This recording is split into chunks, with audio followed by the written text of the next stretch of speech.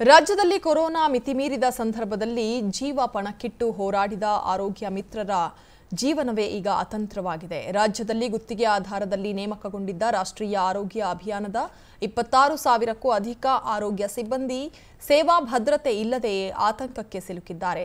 ಇನ್ನು ಒಳಗುತ್ತಿಗೆ ನೌಕರರ ಕೆಲಸವನ್ನು ಖಾಯಂ ಮಾಡುವಂತೆ ಈಗಾಗಲೇ ಮುಖ್ಯಮಂತ್ರಿ, ಆರೋಗ್ಯ ಸಚಿವರು, ಆರೋಗ್ಯ ಇಲಾಖೆಯ ನಿರ್ದೇಶಕರು ಸೇರಿದಂತೆ ಹಲವರಿಗೆ ಹಲವು ಬಾರಿ ಮನವಿ ಪತ್ರವನ್ನು ನೀಡಲಾಗಿದೆ. ಆದರೆ ಅಧಿಕಾರಿಗಳು ಹಾಗೂ ಸಚಿವರು ಇದಕ್ಕೆ ಇನ್ನೂ ಕೂಡ ಕ್ಯಾರೆ ಎನ್ನುತ್ತಿಲ್ಲ. ಹೀಗಾಗಿ ಬೇಡಿಕೆ ಈಡೇರಿಲ್ಲ ಅಂದರೆ ಮುಂದಿನ ದಿನದಲ್ಲಿ ಉಗ್ರ ಹೋರಾಟ ಮಾಡುವುದಾಗಿ ಎನ್ಎಚ್ಎಂ ನೌಕರರು ತಿಳಿಸಿದ್ದಾರೆ.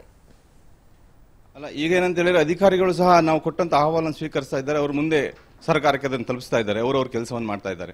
ಆದರೆ ಈ ನಮ್ಮ ಎಲ್ಲ ಬೇಡಿಕೆಗಳನ್ನ ಈಡೇರಿಸಬೇಕಾಗಿರೋದು ರಾಜ್ಯ ಸರ್ಕಾರ.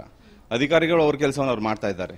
ರಾಜ್ಯ ಸರ್ಕಾರ ಈ ನಮ್ಮ ಈ ಬೇಡಿಕೆಯನ್ನ ಅವ್ರ ಗಮನಕ್ಕೆ ತೆಗೆದುಕೊಂಡು ನಮ್ಮ ಸೇವೆಯನ್ನ ಟೈಲರಿಂಗ್ ಕಲಿಯೋದಕ್ಕೆ ಸಾವಿರಾರು ರೂಪಾಯಿ ಖರ್ಚು ಮಾಡಬೇಕು ಅಂತ ಚಿಂತೆ ಮಾಡ್ತಿದ್ದೀರಾ? ಫ್ರೀಡಮ್ ಆಪ್ ಅನ್ನ ಡೌನ್ಲೋಡ್ ಮಾಡಿ ನಲವತ್ತು ಗಂಟೆಯ ಟೈಲರಿಂಗ್ ಕೋರ್ಸ್ ವಾಚ್ ಮಾಡಿ ನಿಮ್ಮದೇ ಆದ ಟೈಲರಿಂಗ್ ಬಿಸ್ನೆಸ್ ಶುರು ಮಾಡಿ.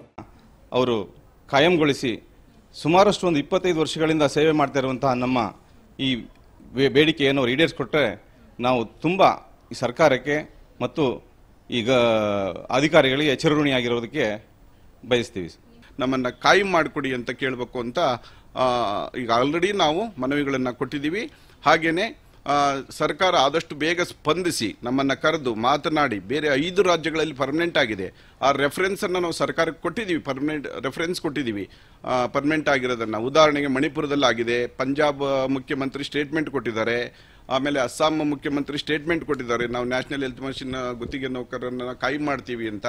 ಹಾಗೆ ಮಣಿಪುರದಲ್ಲಿ ಕಾಯಂ ಮಾಡಿದ್ದಾರೆ. ಡೆಲ್ಲಿಯಲ್ಲೂ ಸ್ಟೇಟ್ಮೆಂಟ್ ಕೊಟ್ಟಿದ್ದಾರೆ. ಹಾಗಾಗಿ ದಯಮಾಡಿ ಸರ್ಕಾರ ನಮ್ಮ ಅಹವಾಲನ್ನು ಸ್ವೀಕಾರ ಮಾಡಿ, ದಯಮಾಡಿ ನಮ್ಮನ್ನು ಕರೆದು ನಮ್ಮ ಸೇವೆಯನ್ನು ಕಾಯಂಗೊಳಿಸ್ಕೊಡ್ಬೇಕು ಅಂತ ತಮ್ಮಲ್ಲಿ. ಟೈಲರಿಂಗ್ ಕಲಿಯೋದಕ್ಕೆ ಸಾವಿರಾರು ರೂಪಾಯಿ ಖರ್ಚು ಮಾಡಬೇಕು ಅಂತ ಚಿಂತೆ ಮಾಡ್ತಿದ್ದೀರಾ? ಫ್ರೀಡಮ್ ಆಪ್ ಅನ್ನು ಡೌನ್ಲೋಡ್ ಮಾಡಿ ನಲವತ್ತು ಗಂಟೆಯ ಟೈಲರಿಂಗ್ ಕೋರ್ಸ್ ವಾಚ್ ಮಾಡಿ, ನಿಮ್ಮದೇ ಆದ ಟೈಲರಿಂಗ್ ಬಿಸ್ನೆಸ್ ಶುರು ಮಾಡಿ.